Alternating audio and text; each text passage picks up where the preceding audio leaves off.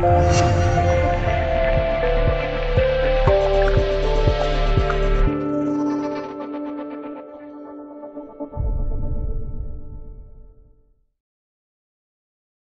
于现在的广州恒大来说，真的是有人欢喜有人忧。徐佳音当然是最开心的那个，因为他的球队在经过间歇期的调整之后，重新找回了以前的中超王者之风。间歇期归来之后的两场比赛，恒大完成了九粒进球，而且在防守上零封对手。不过，对于古德利和金英权来说，他们两人应该开心不起来。由于引进了塔利斯卡。而且表现不错的阿兰也宣布留队，因此古德利和金英权应该已经无缘恒大未来的计划。目前古德利的行动比较迅速，他已经处理完了自己在广州的一些随身物品，动身前往了欧洲。不过古德利并没有去度假，而是直接前往了西班牙。当地媒体介绍，古德利在确定无缘恒大之后，很多支西甲球队都表达。了对于这位恒大前外援的兴趣，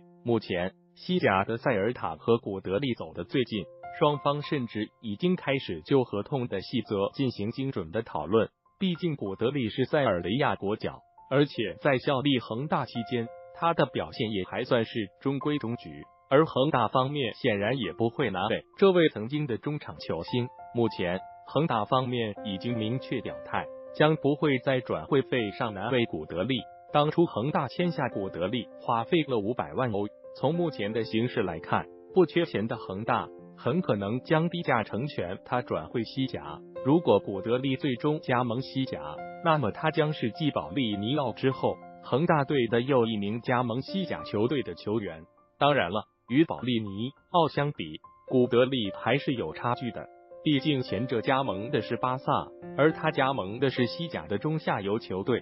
最近。一直有一个说法，那就是古德利将是被恒大历史所铭记的一个人，因为从五百万欧引进古德利开始，当时外界普遍认为恒大要亲手终结自己的金元攻势了。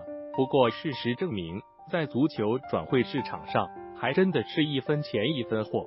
当然了，我们不是说古德利不行，只是他的水平还不足以在现在的恒大中一枝独秀。从某种意义上来讲。